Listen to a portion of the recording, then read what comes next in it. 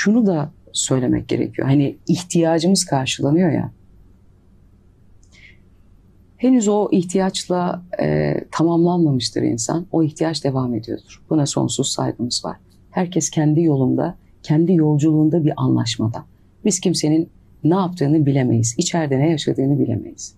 Ama bir talebi varsa, bunu değiştirmek istiyorum diyorsa Hı hı. onlara bu sözüm. Şimdi herkesin ihtiyacının karşılandığını söylediğimiz noktadan devam edelim. Tabii ki biz bilemeyiz yani kim hangi ihtiyacını nasıl karşılıyor. O onun anlaşması gereği o yolda olduğu bir haldir. İhtiyacı bittiğinde zaten o hal ondan alınır. O bırakır daha doğrusu. Kolaylaşır o süreç. Benim sözüm ben bunu bırakmak istiyorum talebinde bulunanlara. Şöyle çile çektim, böyle canım acıdı, böyle acı çekiyorum, hüngür şakır ağlıyorum diyenlere sözüm. Bundan beslenenler hatta. Evet. Üzgünüm ama öyle. Evet bundan beslenenlere. Öyle üzgünüm Bu değil. olmazsa sanki yaşayamaz yani Evet. tutunduğu. Çünkü o ne oluyor biliyor musun? Bizim bu kameraların altındaki tripodlarımız vardır ya üç Evet. ayaklı. O acı, o hüzün, oradan beslenme hali onun üçüncü bir ayağı gibi oluyor. Bir uzvu gibi oluyor Beyza. Dolayısıyla bunu bir anda çıkarıp çekemiyorsun. O insan için de bir adaptasyon süreci gerekiyor. Yani şunu kavrayabilmeli insan. O iki ayağının üzerine basmazsa iş dönecek dolanacak, yine köklenmeye gelecek. Bu dünyadaki varlığımızın farkındalığına gelecek. Bütün konular oraya bağlanıyor çünkü çok ilginç. O iki ayağının üzerine sağlam basmaz. Kendi gücünü görmezse, kendi varlığının gücünü kabul etmezse o zaman o üçüncü ayağa hep ihtiyacı olacak. Ama farkında değil insan. O üçüncü ayak kangren oldu. Eğer onu kesmezsek bizim bütünümüzü saracak o yara. Ve bizi yok edecek. O nasıl olacak? O şöyle olacak. İnsan şu şuura gelirse, bilmiyorum yani böyle bir ilginç bakış açım var.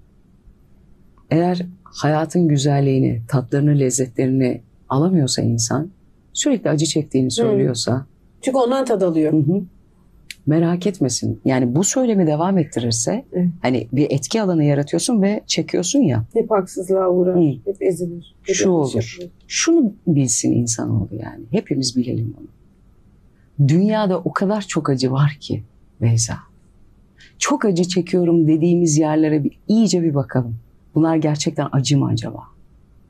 Birileri bu, bu yeryüzünde, bu dünya evimizde öyle büyük hizmetlerde bulunuyor, öyle büyük fedalarda bulunuyor ki, öyle büyük acılar çekiliyor ki, eğer sen acı çektiğini düşünüyorsan,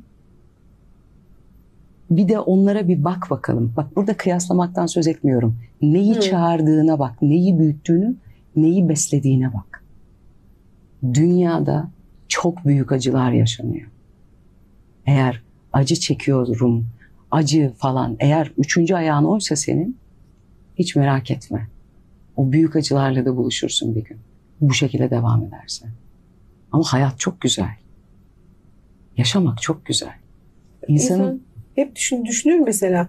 Afrika'nın ne gibi karması var, ne gibi öğrenmesi gereken ne var öğrenemedi hala da Afrika böyle diye. İnsan bakarken düşünmüyor mu? Bir- İşte. bir- hani bu kadar konuya hakim olmayanlar eminim düşünen oluyordur. Buranın herkes kendi inancı doğrultusunda ya da bakışı doğrultusunda soruyordur. Nedir buranın bitmek bilmeyen bu açlık, yoksulluk, Şimdi, sınavı evet. mesela? Bununla ilgili şunu söyleyebilirim.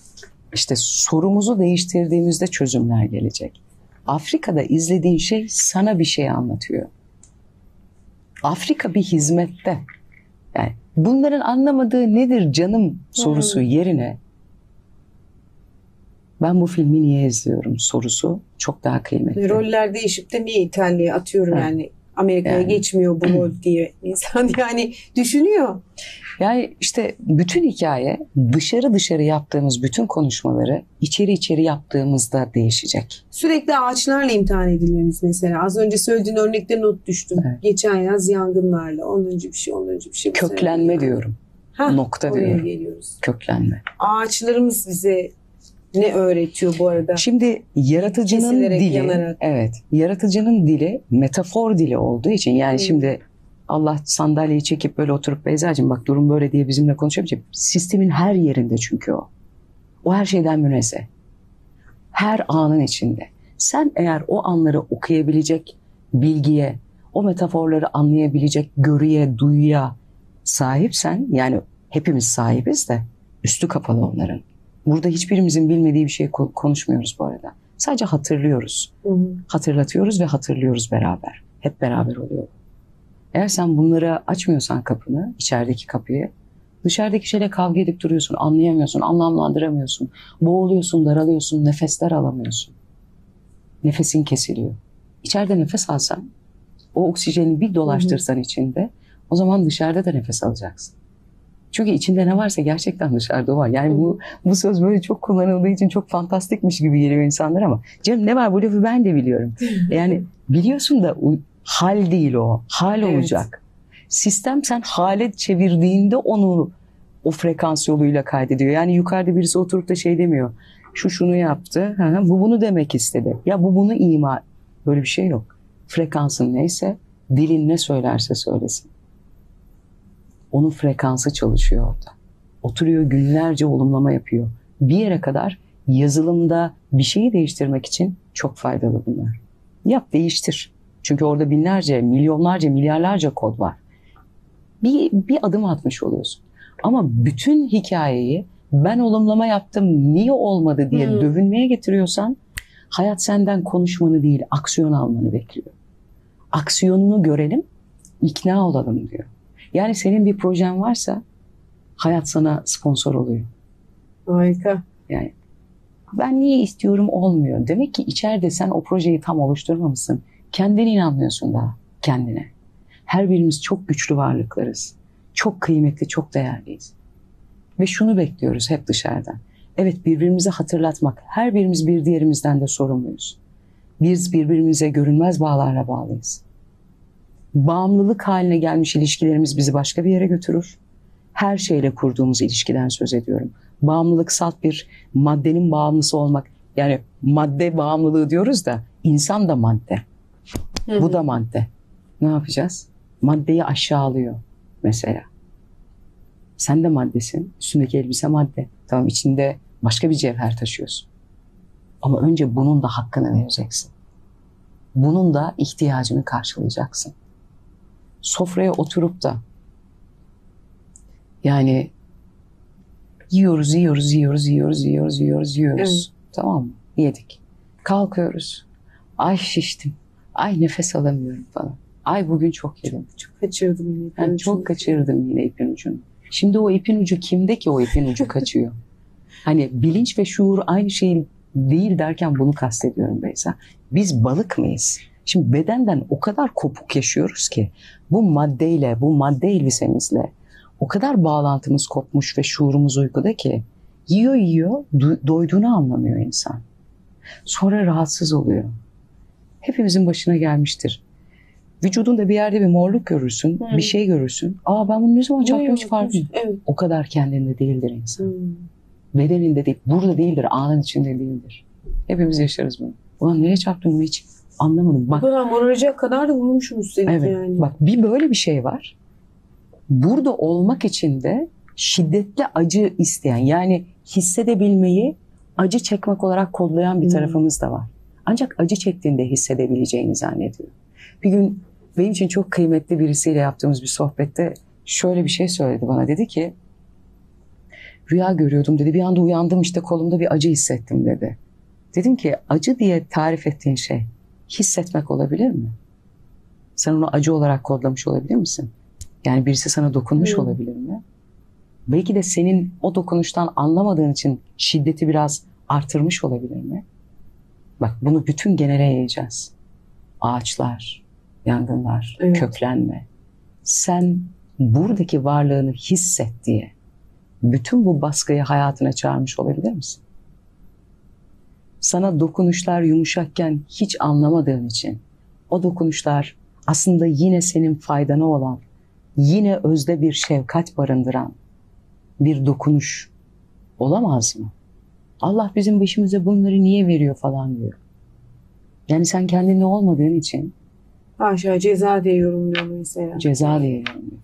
Mekanizmada ödül ceza diye bir şey yok. Seçimlerimiz var. Seçimlerimizle ilgili karşılaştığımız, yüzleştiğimiz durumlar var. Eğer bununla yüzleşemiyorsa insan o seçimi yaptığını da hatırlamıyor çünkü şuur kapalı. Kavga büyüyor, ateş büyüyor, yangın büyüyor. Ne olacak sonra? O yangın her yeri yakacak. Hı hı. Kendinde olan insan için seçtiği şeyle yani bunu ben seçtim. Evet bunu kabul ediyorum dediğinde buluştuğu şeyin faydasını alabiliyor. Şimdi bizim bakış açılarımızda hani ataların bir sözü var diyorlar ya veren el alan elden üstündür. Evet. Koda bak. Sakın almayın. Almak kötü. Veren el üstündür. Kimim ben? Kimim ben? Yani almadan nasıl verebileceğim? Yine İslami literatürden bir e, referansla konuşalım. Almadan vermek Allah'a mahsus, mahsustur denir. Kimiz biz? Bir kendimize gelelim yani bir silkelenelim.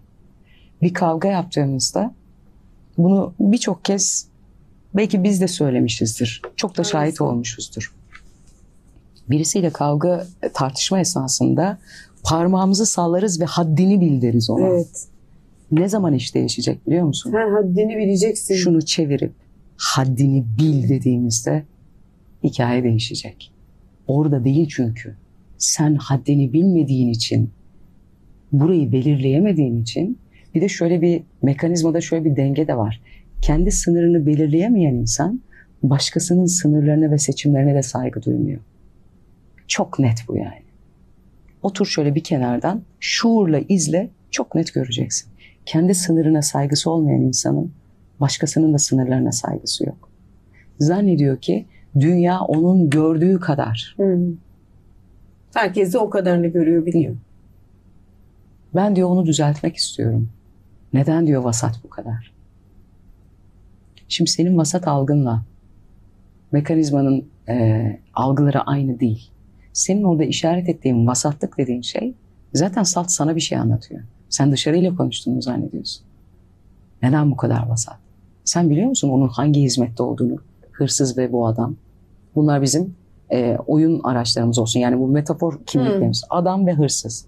Sen onun hangi görevde olduğunu biliyor musun? Bilmiyorsun. Onun seçimini biliyor musun? Bilmiyorsun. Peki sen kim olarak yani çevirelim kendimize haddini bil diyelim. Ben kim olarak buradaki sistemi böyle olmalı, şöyle olmalı diye o kırmızı çizgileri, o markerları koyabiliyorum. Kimim ben? Yani ben öyle bir şeyim ki insanoğlu böyle düşünüyor. Ben öyle bir şeyim ki benim dediğimin dışında bir doğru olamaz diyor. Bakış açısını ne kadar küçülttü. İşte o yüzden dedim e, sevgili Ünal Güner e, bir sohbetinde böyle bir ifade kullanmıştı. Çok kıymetli. Selam olsun. Evet bize. selam olsun sevgi olsun. Senin diyor Allah'ın ne kadar. Hı hı. Yani çok inananlara söylüyorum yine bunu. Çok diyorum başında. Çünkü çok diye ikna etmeye çalıştığı şey kendi aslında. Oturup kalkıp yaptığı şeyle kendini ikna etmeye çalışıyor. Buradaki varlığına, özünde taşıdığı nura ve her birimizin içinde bir diğerimizde olmayan parmak izlerimiz gibi muazzam bir şey var Beyza. Bizim bu hikayede onu bu dünyaya hem akıtmak, hem almak, hem vermekle yükümlüyüz. Eğer onu bulamazsak zaten böyle bir girdabın içinde dönüp duruyoruz o hamster tekerleğinin içinde dönüş gibi. Dursa bir yere yetişemeyeceğini anlayacak Hı insan. Koştu koştu koştu iyice şuurunu da kaybetti. Koştu bir yere de varamıyor canı da çıktı yorgunluktan. Ulan yani tamam biz hamster değiliz bizim bir irademiz var. Bir ak akıl melekesi taşıyoruz biz. Bir duralım yani. Nereye koşuyorum ben diye bir soralım.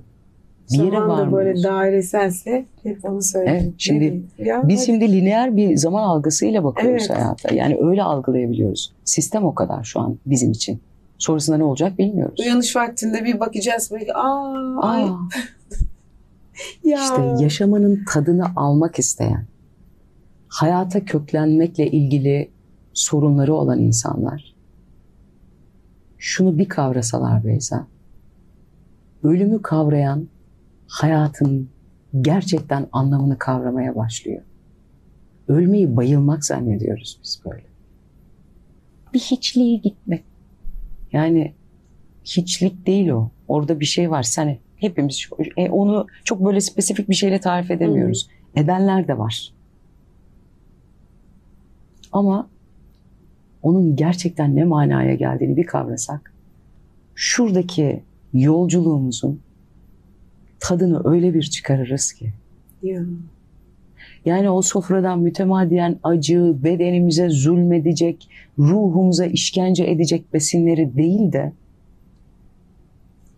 bize iyi gelecek, huzur verecek besinleri, huzurla başladık ya, Hı hı. o huzuru biz kendimizi neyle besliyorsak ancak o şekilde elde edebiliriz. Yani sen neyle besleniyorsun? Oturup kalkıp karanlık senaryolar mı izliyorsun? Geçen Tabii ben Evet. paylaşmayınca çok kızı, kızan seyircilerimiz var mesela. Tabii. Bak onun Neler oluyor var. hiç haber ver hiç böyle Hı. işte siz doğrusu nedir bunu bekliyoruz size diyem atmıştım Hı. işte o falan aileler işte gene böyle böyle bir şey hepimiz anladık ne olduğunu Hı. siz hep böyle çiçek böcek gidiyorsunuz neler oluyor dünya yıkılıyor hiçbir şey söylemiyorsunuz İşte bize bak. Şimdi nereye odaklanırsak odağımızı büyüttüğümüz gibi bir bilgimiz var Evet. değil mi elimizde? Şimdi herkes hangi değirmene su taşıdığını, hangi insana hangi görevi yüklediğini, bu ihtiyaçları dolayısıyla eğer iyi analiz etmezse, yani o teraziyi güzel tartmazsa günün sonunda yine herkese küfreden, yine herkesle kavga eden durumda olur. Dünyanın halinden şikayet edenlere bakalım. Sen ne yapıyorsun bunun değişmesi için? Sen şimdi eskiler der ya, ya kötü kötülüğünü yapacak. Yani bizim bununla sen ne yapıyorsun? Ya. Kötüye oturup küfrettiğin yerde bir şeyi çözdüğünü mü zannediyorsun? Aslında oradaki enerjiyi besliyorsun sen. Sen o değirmen dönsün diye şikayetinle orayı besliyorsun. Dünya çok kötü bir yer, şöyle bir yer, falan bir yer. İşte şu insanlar şöyle, bunların böyle karanlık. Tamam sen karanlık işini yapsın. Sen karanlıkla kavga edecek e, ya da onunla başa çıkabilecek bir güçte değilsin. Birincisi bunu kabul et. Sen bulunduğun alanda neyi büyütüyorsun? O yüzden söylediğimiz, yargıladığımız hiçbir şey ne bize ne de bütüne bir faydası olan şeyler değil. Orada çok başka bir şeye hizmet ediyoruz farkında olmadan. İşte otomatik pilot dediğim şey tam olarak bu. Ahırın kapısı açılıyor, hurra koşuyoruz. Üst üste çıkıyoruz, birbirimizi eze eze gidiyoruz. Ama sorsan hepimiz çok duyarlıyız. Aa, tabii duyarlılıkta yarışıyoruz. Evet. Hatta Hayırlarda depreminden- yarışalım. Hayırlarda yarışalım. o duyarlılıkta da yarışıyoruz. En Evet. doğrusunu bilmede de öyle. Depremden hemen sonra, Hatay depreminden hemen sonra e, yaşamını yitirenlerin mekanı cennet olsun. Ünal Hoca ile yayın yaptık. Ve o günler için e, Ünal Hocam bugün bol bol kulağınızı çınlattık. E, selam olsun, gönül dolusu sevgiler. Gerçekten anlatması da bence anlaması da zor şeyler söylemişti. Hı. Zaman geçtikçe biz ki o, o gün o yayını izleyen sonradan izleyen seyircilerimiz dostlarımız da yazıyor. Oradaki yaşamını yitirenlerin bir görevi olduğunu, Tabii. bir anlaşması olduğunu. İşte Afrika üzerinden o dedi ya aynı şey. ifadesiyle anlatırken hoca kas katı kesildiğimi hatırlıyorum. Anlayamadım çünkü ve eminim anlayamayanlar çoktu. Mesajlar yağdı. Hoca ne demek istiyor? Hı hı. Oradakilerin bize öğretmesi gerekenler var. Onlara şükran Bak, borçluyuz. Evet kesinlikle öyle. Çok ağır bir dersti. Var olun hocam. İyi ki varsınız Ünal hocam. Şöyle bir şey. e, Şu ana kadar evet. anlattıklarım bana onu hatırlattı. Evet. Doğru mu anlamışım bilmiyorum. Doğru. Evet. Yani hani Afrika'dakiler üzerinden ya bunların Evet. anlayamadığı nedir diye onlarla ilgili değil. Yani onlar bir hizmette, onlar bir görevi yerine getiriyorlar. Şimdi bizim çalıştığımız arkadaşlardan biri deprem bölgesinden bir arkadaş. Ve şey e, böyle bütün bedenine sirayet etmiş bir kaygı var. Tek istediği bugün böyle 3-5 işte birden çalışıp kendi canını dişine takıp bugünü yok sayarak geleceğe dair gelecekte özgürlüğünü eline alabilmek adı altında bir hamster çemberinin içine Hmm. girmiş. Bütün aurasına sirayet etmiş o telaş. Bak depremi izlemiş birisinden söz ediyoruz. Yani o, o gece Kaç şeyin tane anlamını insan... yitirdiği Ha. an. Yani bak insan bu kadar kolay unutur Beyza. Evet. Yani dünyada neden bunlar oluyor? Yani unutuyorsun. Şuurun yerinde değil. Hatırlasan belki de bu kadar büyük hikayeler çıkmayacak. Dersini öğrensen ders giderek sertleşmeyecek. Bunları sorgulayanlara bu söylediklerim. Yani başka bir bakış açısından bakmaktan söz ediyorum.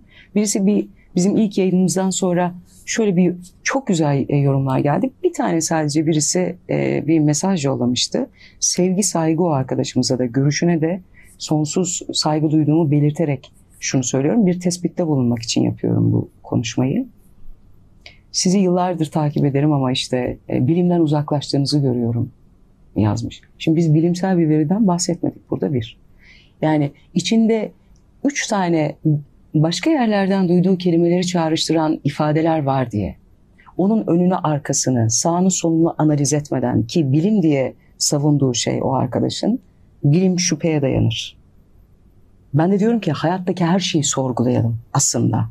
Yani Bilim onun söylediğinin daha bilim- üstüne çıkıyorum. Hı hı. Şimdi o diyor ki bilimden uzaklaşmışsınız. Bilim de kendini ineliyor, inkar ediyor. Yani zaten o sistemin Aa, o doğru değilmiş, ana doğruymuş. e, şeyi e, merkezi Evet. bu. Bunu sorgulayacak, onu sorgulayacak. O gün onu test etti, bakacak başka gün baş. Böyle Yeni alıyoruz bilimsel donelerle verileri. yenileyecek, güncelleyecek. Benim Bilim söylediğim aslında işte nereden bakıyorsak yani içimizde hangi e, hikaye varsa dışımızda onu izliyoruz. O yüzden hikmet söyleyen de değil. Hikmet onu duyabilen de. O kapıyı açan da. Hepimizle ilgili bir şey bu. Ben diyorum ki burada bütün anlattıklarımda her şeyi sorgulayalım diyorum. Bugüne kadar inanç zannettiğimiz, alışkanlık, sevgi, bağ- bağlılık zannettiğimiz her şeyi bir sorgulayalım diyorum. Ve bunların artık eee miyatları doldu diyorum. Yüzyıllardır yapılan şeyleri tekrar edip farklı sonuçlar bekleyen tuhaf bir sürecin içindeyiz yani. Herkesin bir fikri var ama aksiyonda hiçbir şey yok. Çünkü sadece laftayız. Çünkü bunları harekete geçirmiyoruz, aksiyona geçirmiyoruz.